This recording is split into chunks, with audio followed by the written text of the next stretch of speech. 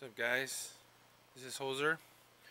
So here's the update on this tank now. We already talked about that tank, so now we're going to talk about this tank.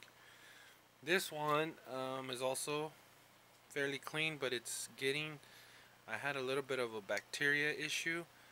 I forget what it's called, but it was that red bacteria. I read on some you know forums and on videos that you could buy some chemical to get rid of it.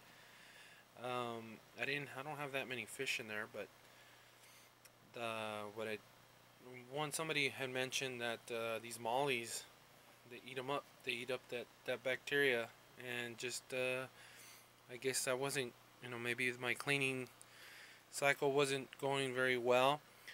Um, I was doing it every two weeks. I mean, you can see the water's still fairly clean. It's very clean, actually.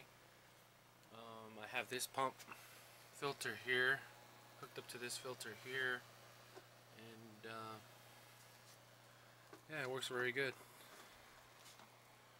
I like it. Intake there. Output there. Now you can see right there on the on the gray there's like some red stuff on it. That's the bacteria. It's like an algae but it's also a bacteria mostly. You can see it on there I'm actually going to replace that. I'm going to move that to a, to a, to the other tank, to the smaller tank.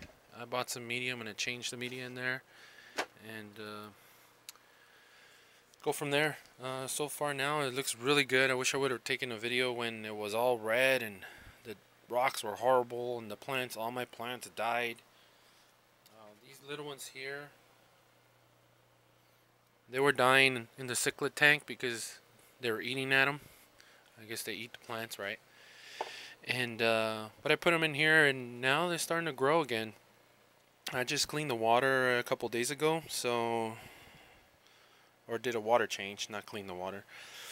And uh, you know, uh, I was supposed to be doing it every week, so that's all I'm doing until all that bacteria, I guess, goes away. And these fish actually are eating whatever's left over, so I didn't have to put any chemicals and uh, maybe I'll buy a couple more mollies because I do like them now that the waters or the bacteria is mostly dissipated because it was pretty bad. Anyways so yeah that's pretty much how this tank is and uh, it's doing pretty good. As you can see uh, I like it. I'm happy with it all the ornaments and stuff that I had in there, I took them out because they were all red, full of that bacteria. Uh, I had them soaked in water and cleaning them and doing all that good stuff. The regular algae remover, that does not work. Uh, the ones that you buy at the store. It's supposed to be some special one that you can buy. It's like the size of that little feeder and it's like 50 bucks a bottle or something. I don't know. At least that's what one YouTube guy, or I think it was on a forum or something I had seen. But anyways, I figured, you know what? I don't want to put too many chemicals in here. So instead I just decided to just do more cleans and you know keep an eye on it and see if it's helping take out all the ornaments. And uh, once everything got back to normal then I can put everything back clean everything out. But so far so good. I'm happy with it. And uh, yeah I mean the fish are still doing well. You can see these big ones here are the ones that I've had for over a year now. Those are the ones that have been surviving. That one and that one. And this one over here. I forget all the names. I forget all the names. I just like them. If I see they're they're pretty, I pick them up. Oh, the orange ones too. That's right. These orange ones here.